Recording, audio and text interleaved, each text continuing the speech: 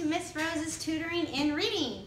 This is level one, part two. I hope everyone's doing well. It's a little dark in here today because I think we're going to be experiencing some rain and things. I hope everyone's doing well. And um, let's begin. Okay, so our vowels are A, E, I, O, and U. A, E, I, A, A, okay? And our first line of words we're going to go over. Ready? F-A-T. At. Fat. T-H, remember those two don't get separated. They make one sound again together. T-H-A-T. At. That. T-A-C-K. At S-A-T, at, set. J-A-M, j-am, jam. All right, so now we're going to have, we have fat, that, tack, sat, and jam. And if you know someone that's learning English or if your parent, um, their first language isn't English, you can have them watch this with you and hopefully this will help.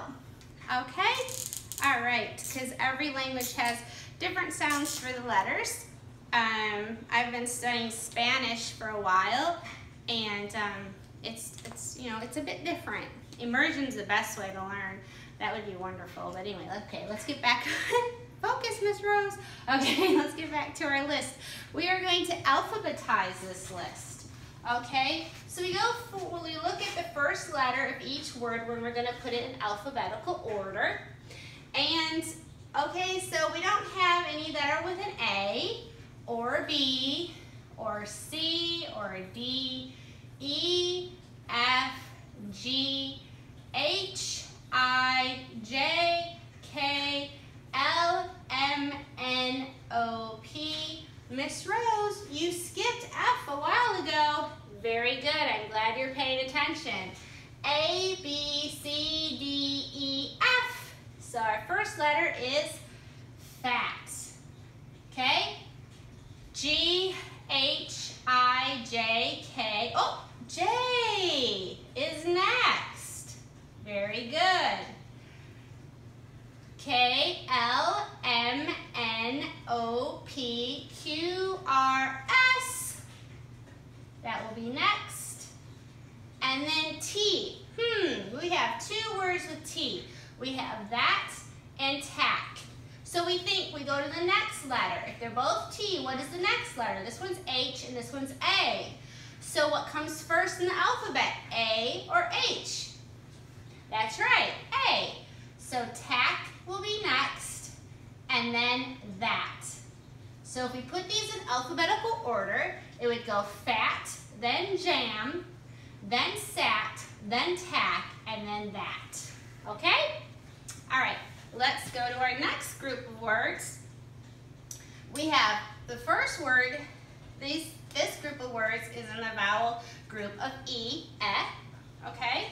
And then we have then, vet, and when. Okay?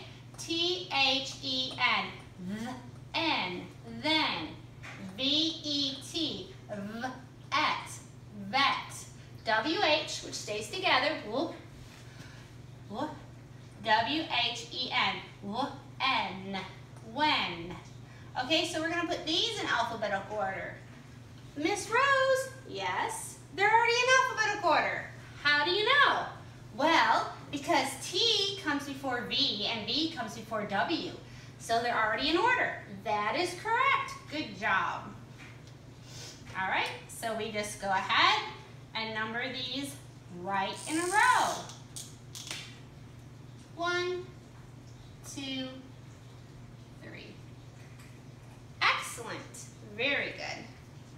All right, now our next row of letters is in the vowel group I. All right, so we have D-I-D, D-id, did, Z-I-P, Z-ip, zip. Then we have have W-I-G, w-ig, wig. Then we have K-I-T, it, kit. Then we have T-H-I-S. We keep the T-H together. Ready? Is, this. Then we have S-H-I-P. Keep the S-H together. Sh, ip, ship. Then we have F-I-T, it, fit. Okay, now we're gonna put these in alphabetical order. So we don't have any letter words that begin with an A. So we go to the next one. B, no, C, no, D, very good, right here, did, D-I-D. So that would be first. Do you think all these are in alphabetical order? No, Miss Rose, because are the last letter of the alphabet. Very good, that's right. So, D is first, A, B, C, D, E, F, oop, there's an F, fit. Okay? All right, G, H, I, J, K, kit would be next. L, M, N, O, P, Q, R, S. That is next. T would be next. U, V, W is next. And then Z. Very good. So in alphabetical order, we have did, fit, kit, ship, this, wig, and zip. All right? Very good. All right, now our next group of words um, is with the O vowel. Okay, O is O, O. Okay, ready? Ox, fox, ot, hot, sh, up, shop.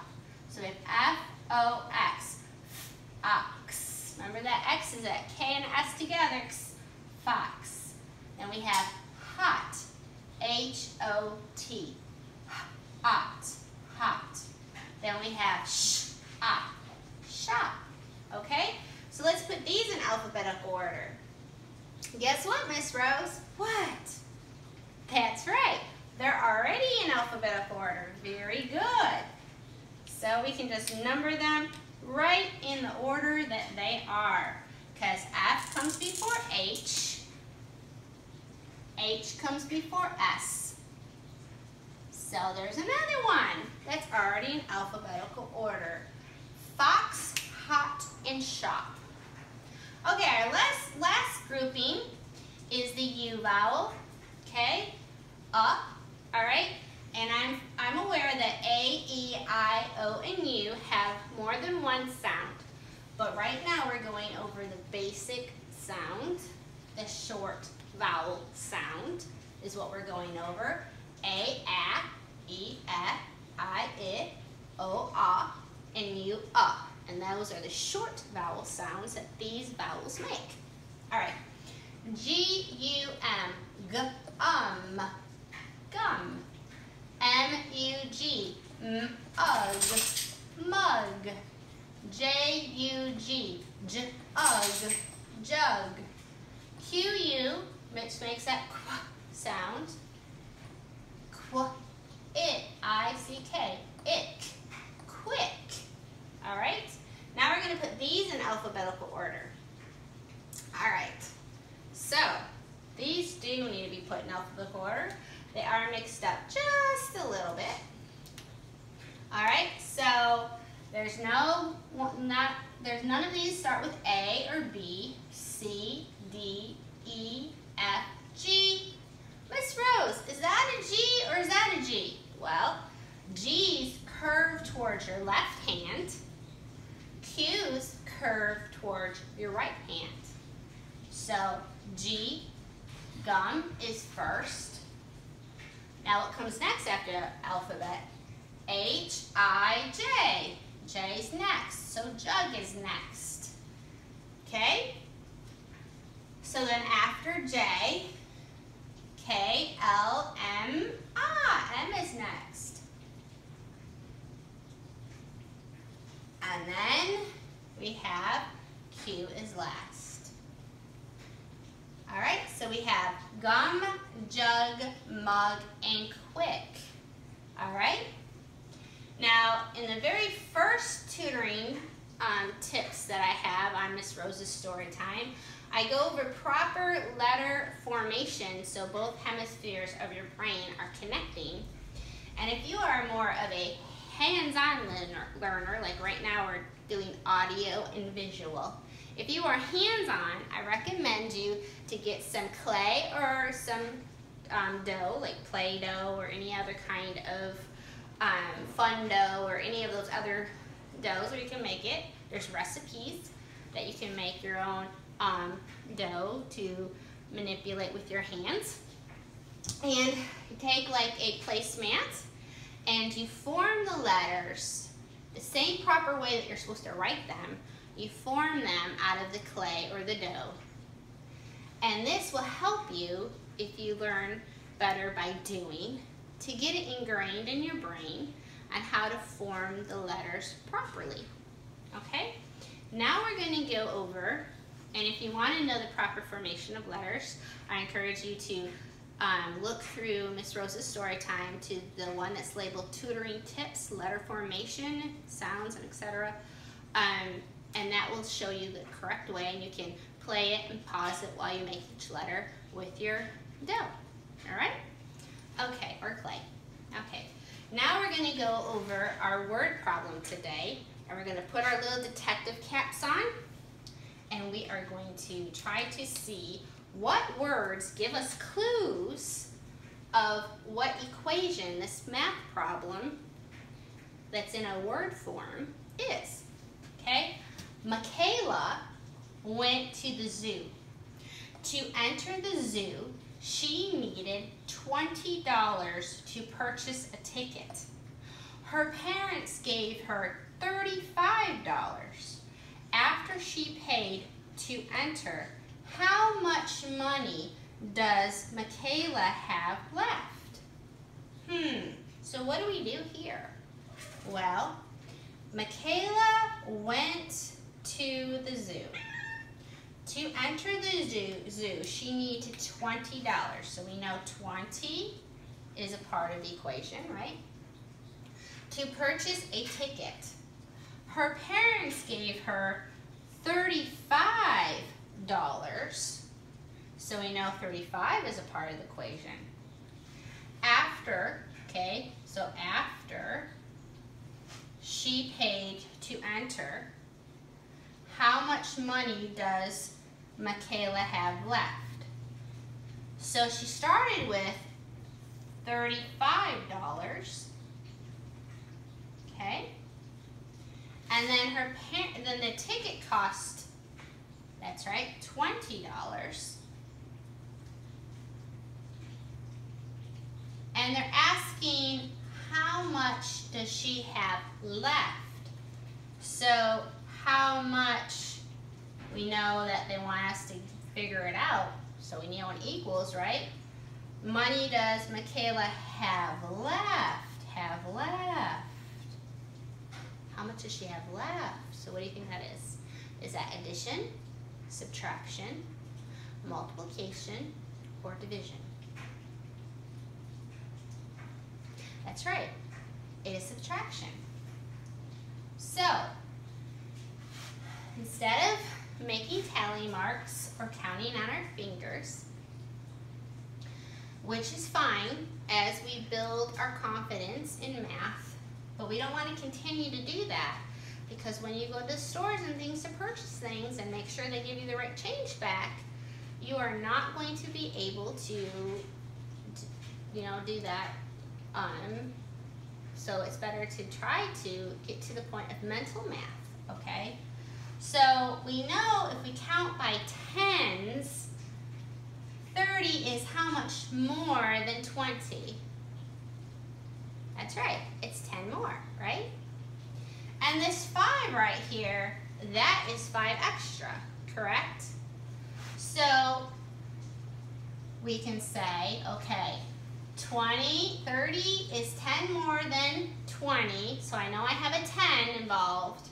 And this 5 is in the ones place, so that's left. That's 5 left over. So 10 plus 5 is 15. So she has $15 left over. Because subtraction is the opposite of addition. So it's very important to memorize your addition facts and have them down. Then move on to subtraction because subtraction is the opposite of, that's right, addition. And um, so then all we need to do, if we have our addition memorized, we can figure out our subtraction because it's the opposite of addition. All right, so that is our word problem and our clue finding for the day. I hope y'all are doing really well. It's raining now. It was cloudy when we first began, but now it's raining hard. Hi, Snickerdoodle. I don't know if all of you like animals or not. I know some of the children I tutor do not. Snicker, you come say hello? Um, this is Snickerdoodle.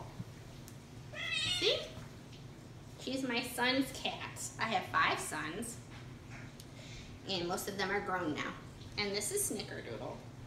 And then we have a dog named Angus that you may see from time to time. And some of my, some of my other story times when I'm reading, um, Angus is there. So, okie dokie. Well, I live in the country, so sometimes it takes a while for um, things to load onto YouTube. So I'm hoping to get this loaded up enough time today to be able to read um, the rest of, see what is it going to read? The rest of Bronze Bow. And I, after the end of each chapter, I'm going to ask some questions for comprehension. So when we're thinking, when we're reading, especially if it's a book that our teacher has signed us, let's remember who, what, when, where, why, and how. And you can even have like a little note sheet by you. And while you're reading and you come across, oh, this story is about, and that's the who, and so on, you can jot it down while you're reading so that way it can stay fresh in your memory because some people learn visually, auditory, and you know tactile, it's hands-on. And so we want to um, incorporate these things on how we read and how we learn is what I meant. So I hope everyone's doing well. You can um, comment, uh, like, share, subscribe, um, give me your thoughts and ideas, and I hope all y'all are doing well. All right, thank you. God bless you.